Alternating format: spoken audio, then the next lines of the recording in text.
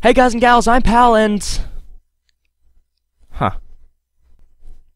You know, I'm nothing more than a voice to you.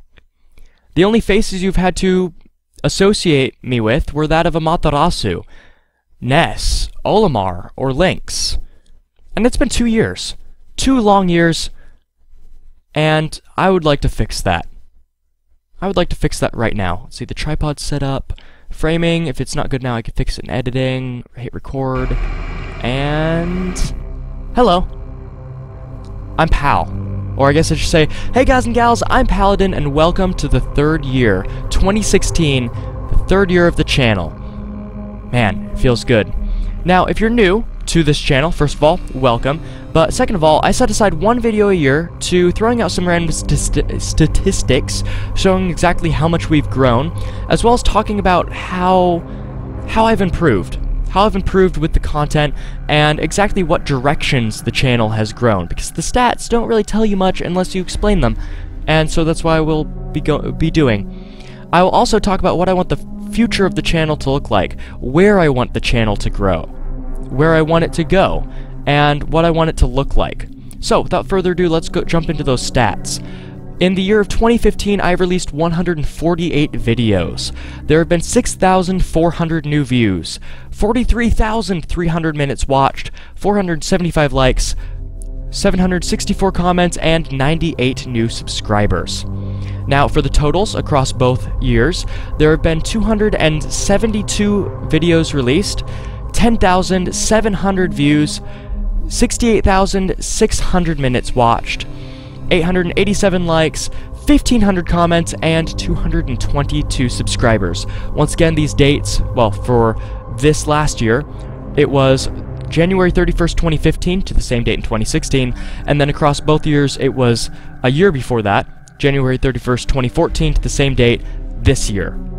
So, yeah, those are big numbers, and I'll be talking about exactly what exactly what those mean in just one moment. But first, I would like to talk about the top three videos released on the channel in 2015. I did not do this in last year's video. I would like to do it now, and I would like to start doing it now because it's interesting and it shows me exactly what you like and what you don't. So, without further ado, in terms of minutes watched, the first episode of Earthbound comes in first place with 1600 minutes watched. Next place was the game review beta of Mario Kart 8 with Steven and Mal. They were doing a community outreach type thing at the end of their uh, Versus LP. I guess they covered a bunch of Mario Kart games. So LPs, I guess, they did a, a, community outreach thing at the end to end off their Let's Play. I jumped on the bandwagon and got to play with them for a little bit and I montaged the experience, and it was it was pretty fun. There were some tense moments, and it was it was really fun. You should go watch that video. It's awesome because it's second place with 1100 minutes watched. Next is the second episode of Earthbound with 900 minutes watched. Now, in terms of just raw views, because those are also, those are more face value, I guess, you can actually go and look at that. So, yeah, these are a little bit, these are a little bit more important. First place is Game Review Beta Mario Kart 8 with Steven and Mal. First place with 243 views. My favorite caliber of, it's break action, of rifle. It's awesome caliber. Goes really far, pretty accurate. I love shooting up to 350 yards with it. Next is the first episode of Pal Plays Wind Waker with 217 views. And then the first episode of Earthbound is at third place with 212 views. Now, I'm not really doing honorable mentions, but I believe that this one this one needs mentioning. Fourth place in terms of views is the Okami Sun Fragments annotation video with 141 views. I'm not putting it on screen, I'm just mentioning it because that's actually kind of important. It shows me that people liked the annotations. They used them, more importantly. They weren't just there for the song. See, what song was that? I think it was the uh, Okami Inimage prototype. I think. If so, that's a really good video. Or A really good song. I listen to that regularly. It's awesome. So, in 2015, I released four? Yeah, four Let's Plays. I'm looking at them right now, so I don't know why I, I questioned myself there. First was a co-op experience of Five Nights at Freddy's. Next was, in my opinion, the best content I've ever released on the channel with Pal Plays Earthbound. Then there was Super Monkey Ball 2 Competition, where I went and played where we went and played through all the competitive minigames of Super Monkey Ball 2, took tally of the score, and uh, found a winner from that. It was pretty interesting. Go watch the tennis video. It was it was pretty it was a train wreck, I'll be honest. And then finally, we finished out 2015 with a co-op Let's Play of Pal Plays Wind Waker. I don't know why I said Let's Play and then also Pal Plays. I guess that those are synonymous. I don't know. But that was where Nova and I swapped control of Link and Tingle ep every episode, and the three of us, Tingle counts as a character, or he counts as a second personality of me. I'll say. We had a blast. Do you guys hear something just now? I have no clue what it was. It was me. Okay, I'll stop. I'll stop goofing around. So if you go back to last year's video, you will see that I almost I didn't realize it at the time, but I talked about New Year's resolutions indirectly. I talked about what I wanted to improve with the channel, and looking at it this year, I believe that I fulfilled that. Uh, what I wanted to improve was retention time, general commentary. I wanted to, I wanted you to watch my videos longer, and I believe that that was that was achieved. If you go back and look at the minutes watched, uh, we almost doubled the amount of retention time this year as opposed to last. And so it really does show. It also shows through the flow of co-op Let's Plays. If you go back to Five Nights at Freddy's, you'll hear that I almost murmured the entire thing. And that's because I was using my conversation voice. And that's bad. Even as a conversation voice. It's awful. And by looking at the three co-op Let's Plays of 2015, three of four of the Let's Plays were co-op, you'll see that I actually improved. I combined those two voices, so I'm now talking to my friends as I talk to you. I'm talking to you as I do my friends. So that's actually pretty nice. And it also makes me a lot more understandable for my friends and to you. So that means a lot. But that that improvement in commentary, I believe, also flowed into the editing. Last year I said I had editing down pat, and while that couldn't be further from the truth, the editing was allowed to improve because it was complementing the commentary instead of accounting for it. Instead of accounting for times where I went on a rant that I really didn't need to do, and extending the episode up to 40 minutes when it didn't need to be, the comment, the uh, editing is allowing those rants to be to have more flesh on them. I guess they they're just fleshed out a lot better, and it's more entertaining to watch, as evidenced by Earthbound and how much you seem to like that Let's Play.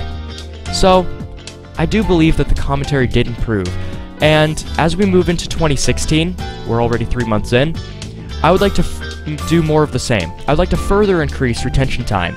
I also like to record ahead, keeping to the schedule a little bit better so that when college days come where I just I can't record, I have to write an English 102 paper, then I'm able to do so and not feel guilty that I am depriving you of content. I would also like to branch out, and Alpha Beta Omega is the main the main outlet that I want to do this in. I want to flesh that series out a lot more.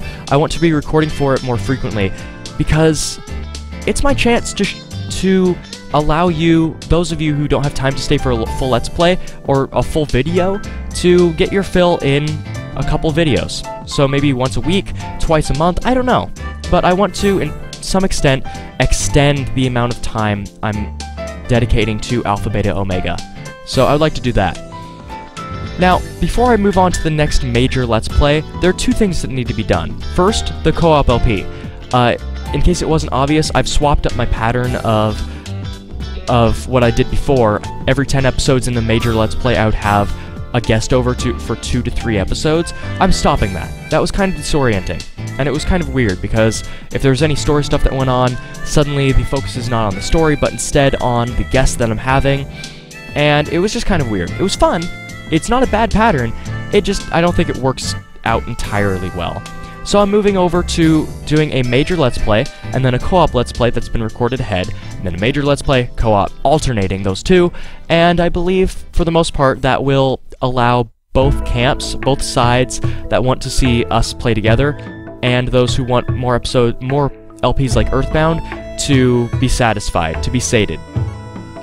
Also, before the next ma major Let's Play, I would like I need to, I don't, there's no like about it, I need to complete the annotation videos for Heart Pieces and Blue ChuChus for Wind Waker. I need to finish those. I didn't do them throughout the year because of college, and I would like to finish those before I move on to the next major LP. Now, just to tide you over, not only, well, tide you over until the co-op Let's Play, as well as the next major LP, I will announce what the next co-op playthrough is. It is Five Nights at Freddy's 2 co-op once again. It was fun. It was really fun. And I tried to make it, I tried to almost force it to live up to the, the infamy, infamy? Infamy, the famousness, the fame, there we go, the fame of Five Nights at Freddy's 1 with the Foxy's Grocery meme, which I'm the only one spamming that, but it's still a great meme. And I do believe that we did that. It it was it was very fun. We didn't get through as many nights as we did in number one, but we were still we still did a great job and we had fun. And well, I won't spoil the entire thing for you, but I did something new in it. So, that's all that I have to say for this video. Hopefully I haven't kept you too long. Speaking of you though, thank you.